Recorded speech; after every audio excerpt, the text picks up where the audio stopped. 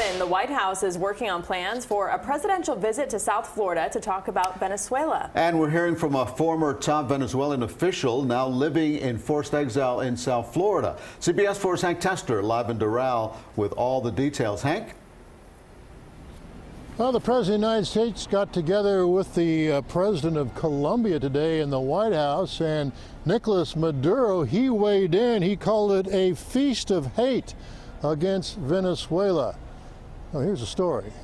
The supporters of Juan Guaido have the challenge of keeping the momentum going, keeping the pressure on Nicolas Maduro. In Washington, and speaking of pressure, the president of Colombia meeting with President Donald Trump. President Guaido who is the, the person about to lead this transition in Venezuela, has a strong support. Ask about U.S. plans for Venezuela? Trump responded. I always have plan B and C and D and E and F. I have great flexibility. I probably have more flexibility than any man that's ever been in this office. The U.S. flexed muscles, warning other nations not to buy Venezuelan oil.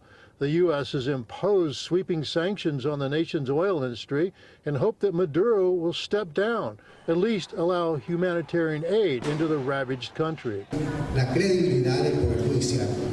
This night in Doral, a meeting of judges from the Venezuelan Supreme Court, or at least until the Maduro government accused them of treason. These are the Supreme Court judges on exile because they're under threat of being arrested. In Venezuela, uh, uh,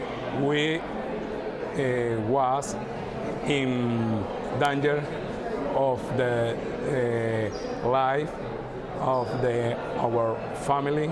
They do function as a Supreme Court recognized by the Guaido government.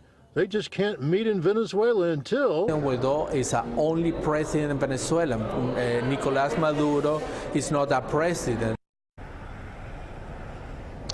Okay, back live here. We can tell you, yes, President Trump in town at FIU on Monday, likely Monday afternoon.